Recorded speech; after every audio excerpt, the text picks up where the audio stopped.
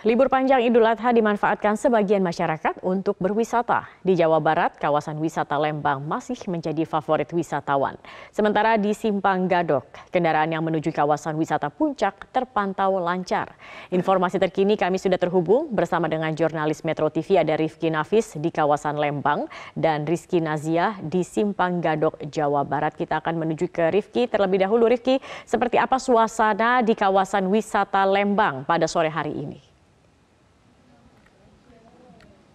Ya selamat sore Zakia dan juga pemirsa memang betul sekali di masa libur Hari Raya Idul Adha yang memang cukup panjang ini sejumlah lokasi wisata dikunjungi uh, ramai oleh masyarakat ataupun wisatawan.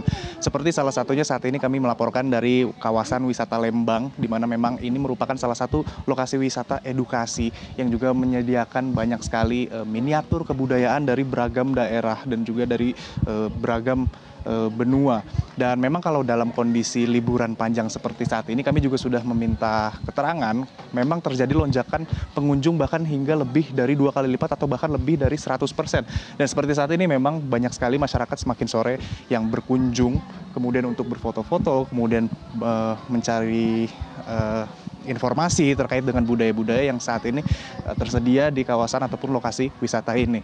Dan seperti yang bisa dilihat ini ada ber, ber, berbagai uh, tradisi ataupun budaya seperti baju uh, dari daerah tertentu, dari negara tertentu seperti saat ini kami ada di salah satu miniatur negara Korea, tapi kami juga ingin mencoba untuk berbincang ataupun bertanya dengan pengunjung yang hari ini hadir dalam meluangkan waktunya dalam hari raya uh, Idul Adha. Ini selamat sore Ibu dan Bapak dan adik-adik. Maaf ganggu waktunya ya. ya. Ini boleh perkenalan dulu dengan Ibu siapa, Bu? Oh, saya dengan Siska. Ibu Siska. Ibu Siska ini bersama keluarga betul ya Bu ya? Iya. Dari mana Bu asalnya Bu? Kita asli Bandung. Oh, asli Bandung. Tinggalnya juga di Bandung berarti? Enggak, kita oh, tinggal. tinggal di udah di Bali. Oh, tinggal di Bali. Ini kenapa milih untuk liburan ke Bandung terutama ke lokasi wisata Lembang seperti ini? Oh. Mungkin kalau suasana yang berbeda dari sana ke sini, terus ini juga emang tempat yang baru juga. Jadi anak-anak pengen ke sini. ini kalau kita lihat adik-adiknya udah lengkap dengan baju Korea ini ya Bu ya? Yeah bisa diceritain sedikit nggak sih Bu emang adik-adiknya nih suka nih sama Korea atau bagaimana? Iya suka banget karena di TV kan banyak Korea-Korea oh, ya, okay. jadi terus lagu-lagu Korea jadi dia pengen banget ke oh. Korea ya udah di sini aja miniaturnya dulu deh. ini kelihatannya seneng banget ini adik-adiknya ya. Kemungkinan kan ini ada banyak lagi miniatur lagi tuh ya negara-negara lain itu akan dikunjungi juga tuh. Oh iya. Hmm. Iya, rencananya kita habis dari sini mau ke Thailand. Oh, miniatur negara Thailand itu ya, Bu. iya. Ini kan uh, sedang liburan. Rencananya berapa lama bu liburan? Uh, satu minggu, satu, satu minggu. minggu lagi ya kita ada di sini sisa. Mungkin ya. Di Lembang keliling-keliling lagi atau bagaimana kira-kira? Nggak cuma di Lembang, mungkin ada beberapa tempat yang nggak cuma di Lembang kita mau ke sana. Oke gitu. begitu. Mm. Ini berarti mau lanjut foto-foto lagi ya? Iya. Oh ya. Terima kasih bu ya. Oke. Terima kasih. Ya.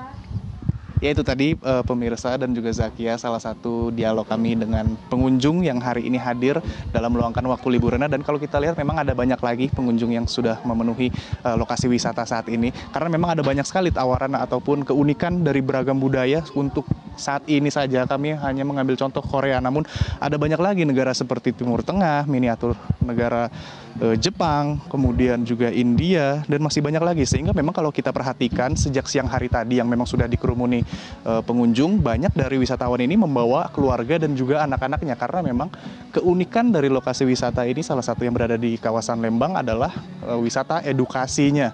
Sehingga memang ini sangat menjadi incaran dari masyarakat tidak hanya dari kota Bandung dan sekitaran namun banyak sekali dari Eh, daerah-daerah lain seperti tadi meskipun warga asli Bandung namun tinggal dari uh, di Bali maksud kami. Dan memang masih banyak lagi yang bisa dieksplor ataupun bisa dikunjungi di lokasi wisata Lembang yang memang secara umum tidak hanya di, di kawasan wisata Lembang namun juga kota Bandung sendiri uh, men, me, menunjukkan adanya peningkatan jumlah pengunjung. Seperti sebelumnya dikatakan oleh uh, pelaksana harian wali kota Bandung Emma Sumarna yang memang memprediksi adanya peningkatan pengunjung di masa liburan ini dan ini diharapkan dapat menjadi peningkatan ekonomi secara umum. Dan untuk sementara demikian yang dapat kami sampaikan. Kembali ke anda di studio Zakia. Baik, Rifki Nafi terima kasih atas informasinya. Kita akan menuju ke Rizky. Rizky seperti apa kondisi arus lalu lintas di Simpang Gadok menuju Puncak? Ya baik Zakia, untuk wilayah Simpang Gadok menuju puncak saat ini terlihat situasinya ramai lancar, tidak adanya penumpukan kendaraan ataupun kemacetan yang ada di wilayah ini. Berbeda dengan pada jam 12 hingga jam 2 siang tadi, memang terlihat adanya peningkatan kendaraan dari wilayah Jakarta menuju puncak, namun memang tidak sampai me memadati wilayah ini. Dan saat ini juga untuk wilayah uh, Jakarta menuju puncak saat ini sudah diterapkan sistem one way, di mana tadi sempat ditutup dan saat ini diberlakukan sistem one way untuk uh, dari atas dari puncak menuju Jakarta. Namun tadi informasinya yang kami terima bahwa saat ini akan diberlakukan pergantian yaitu sistem one way untuk dari arah Jakarta menuju puncak.